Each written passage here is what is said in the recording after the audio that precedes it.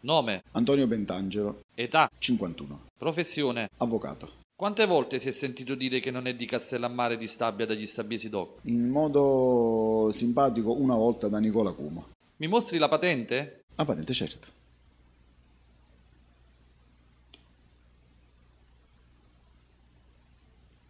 Tra dieci giorni si presentano le liste. Tra più di un mese a Castellammare si vota. E lei il candidato di Forza Italia? Assolutamente no, l'ho detto in più occasioni.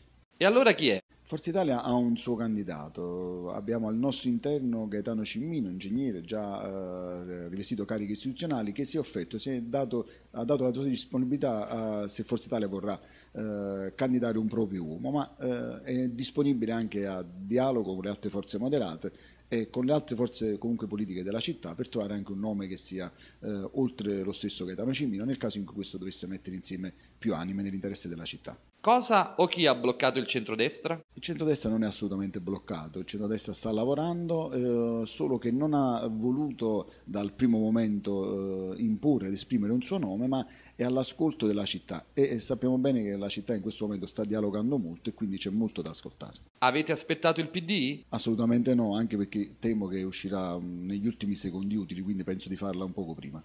Vozza parla di baratto su Castellammare. È vero che si discute su chi fa il candidato a sindaco e chi fa il parlamentare? Non so dove c'è questo, dove si fa questo giochino, si vede che probabilmente Pozza avrà partecipato a questo gioco, probabilmente saprà dove si fa. Io non so assolutamente nulla e non è così semplice decidere un candidato al Parlamento barattando una città importante come Castellammare.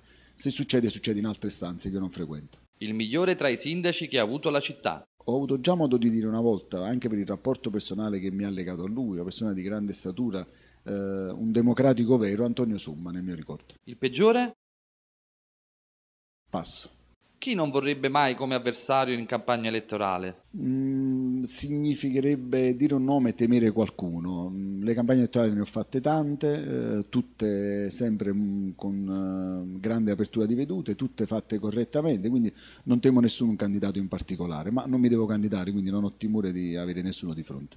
Quale sarebbe il primo atto che un sindaco dovrebbe fare? Bene, questa è anche una domanda che mi è stata già posta. C'è qualcuno che aveva una risposta secca, ma che poi non è stata mantenuta.